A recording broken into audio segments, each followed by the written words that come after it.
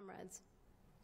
Until we get to where nation shall not lift up sword against nation, and neither shall they learn war anymore, we will always have soldiers, sailors, airmen, and Marines who are willing to lay down their lives for this great American experiment called democracy.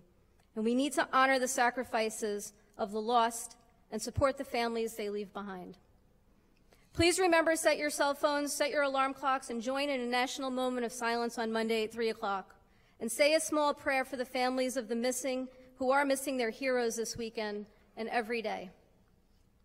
Thank you for having me today, and I pray Adonai blesses and keeps you and our leaders in government in the United States of America. Shabbat Shalom.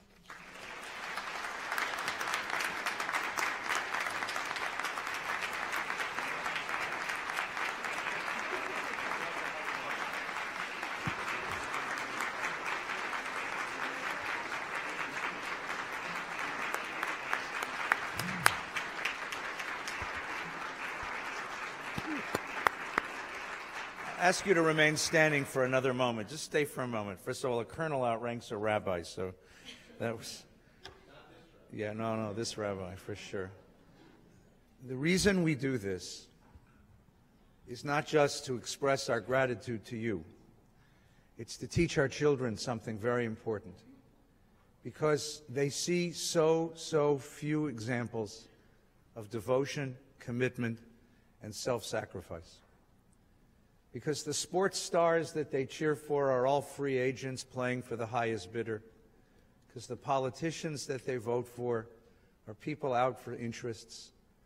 And there are so few people in the community who I can point to my son and my daughter and say, there's a person who gave of himself, who gave of herself for the highest ideals we care for. You are those people and you are examples to our children of the highest reaches of the human soul. So please accept our gratitude. Please accept our honor, and please accept our blessings. Eloheinu v'Elahei Avotenu, our God and God of our ancestors, bless and protect the veterans, their families, and loved ones who gather here and gather across this country on this Memorial Day. Grant them strength of body and wholeness of mind and spirit. Protect them under the wings of your sheltering presence.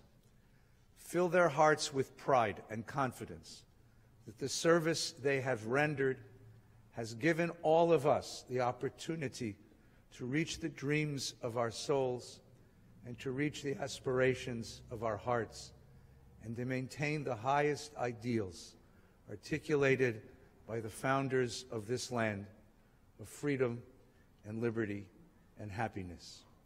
Bless the souls who have been lost to us with peace and wholeness, and bless their families with wholeness and peace. May they know that their service has mattered and is appreciated and held in deepest regard by those who share the blessings of freedom. Almighty God, bless these veterans among us and grant them peace. Amen. we'll ask you please to join